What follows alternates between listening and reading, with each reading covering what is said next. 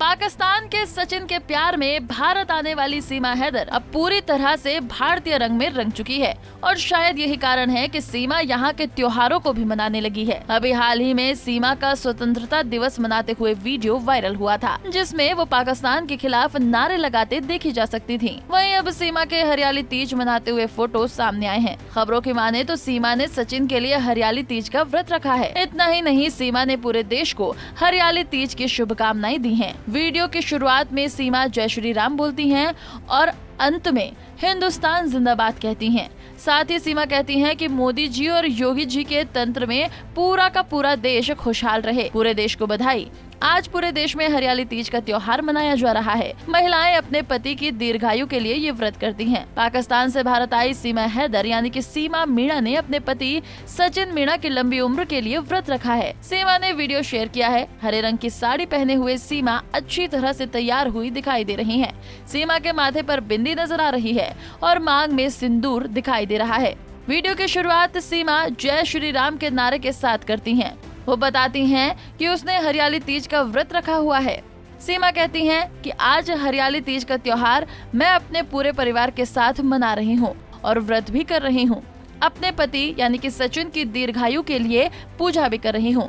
मोदी जी और योगी जी के तंत्र में पूरा देश खुशहाल रहे, पूरे देश को बधाई। वीडियो में आगे नज़र आ रहा है कि सीमा और सचिन पूजा कर रहे हैं। कई सारे देवी देवताओं की तस्वीर रखी हुई है, दीप जल रहा है और आरती की जा रही है। सावन के शुक्ल पक्ष की तीर्थया तिथि को हरियाली तीज का त्योहार मनाया जाता है।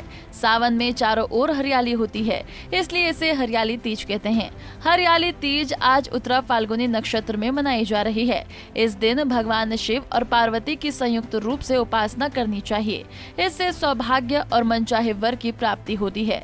ऐसी मान्यता है की इस दिन माँ पार्वती ने भगवान शिव को अपनी कठोर तपस्या से प्राप्त किया था। इस दिन वृक्ष, नदियों और जल के देवता वरुण की भी उपासना की जाती है एक और सीमा पूरी तरह से खुद को हिंदू रंग में ढालने में लगी हुई है तो वहीं दूसरी ओर खुद को सचिन का पड़ोसी बताने वाली Mithilesh Bhati back to back Seema Sachin पर कमेंट कर रही हैं। लप्पू सा सचिन झिंगुर सा लड़का। कहने के बाद इंटरनेट पर छाई मिथिलेश भाटी और सीमा हैदर के बीच जुबानी जंग भी हुई। सीमा ने लाइव इंटरव्यू में कहा कि पहली बात तो ये है कि मिथिलेश हमारी पड़ोसी नहीं है। वो हमारे पड़ोस के गाँव की है। उन्हें कोई हक नहीं की मेरे पति पर कमेंट करे। इसके अलावा सीमा ने यह भी कहा की मिथिलेश के बयान सुनकर मुझे बहुत बुरा लगता है। लीगल नोटिस के सवाल पर मिथिलेश भाटी ने कहा कि मैंने किसी का अपमान नहीं किया। मेरे मुँह में जो आया मैंने कह दिया।